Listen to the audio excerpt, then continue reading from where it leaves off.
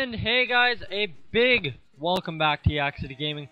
I've been away for quite some time. First thing, we're, uh, I'll explain all that in just a moment. We'll get to it.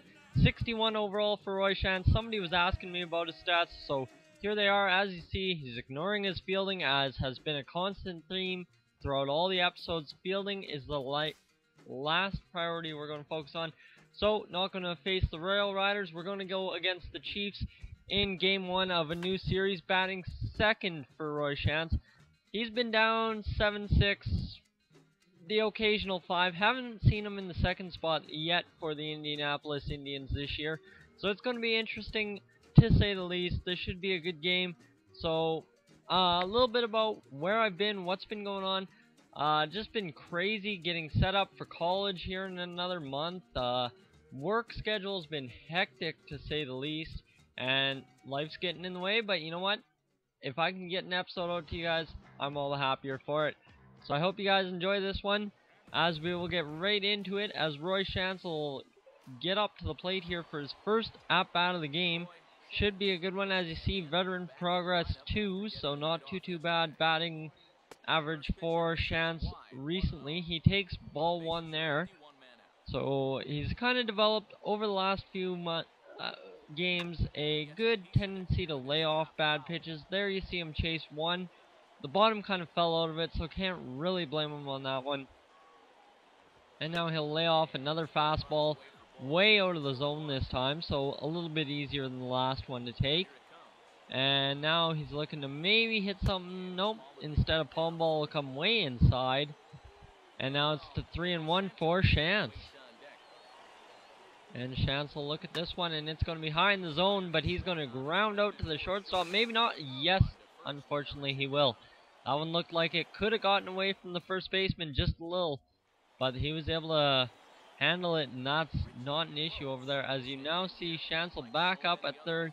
He still doesn't have the whole positioning figured out at third, so he never really has a sure clue. And as you see, this one gets right under his glove. A weak effort by Shantz, showing maybe why he shouldn't be over there at third. That was that was very weak to say the least.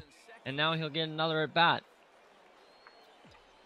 So Shantz's at bat here. Progress has gone down one. Of course after that bad pop out earlier on in the game and he's gonna chase a bad high fastball inside just a little. That's when he's gotta learn to relax off of and uh maybe if anything take the other way hoping he doesn't pop out and he's gonna pop out on a medium height uh, maybe palm ball I want to say and that is not going to result in anything productive for Shantz.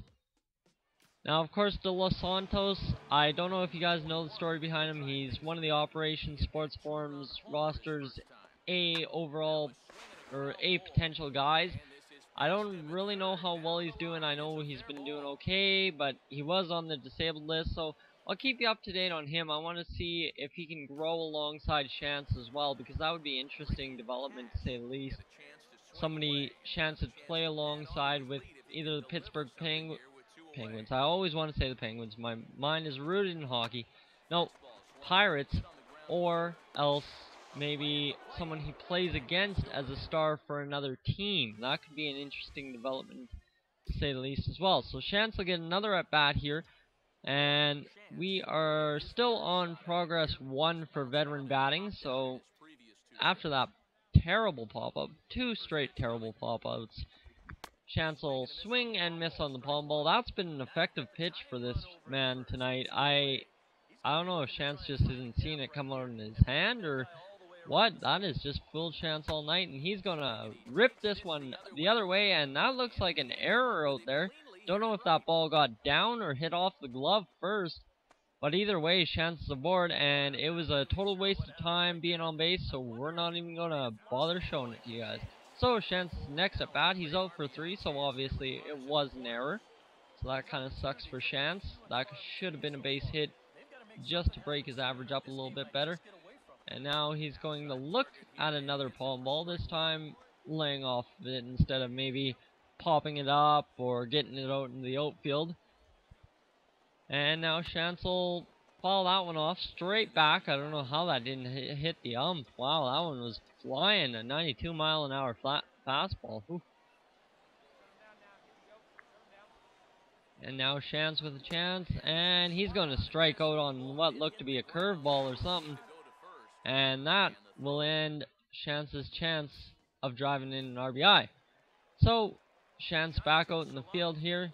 He needs to get a good fielding opportunity here, maybe turn around his night, give himself some encouragement. And that's exactly what he's going to do as he gets a good throw in from third and the runner's nailed out at first.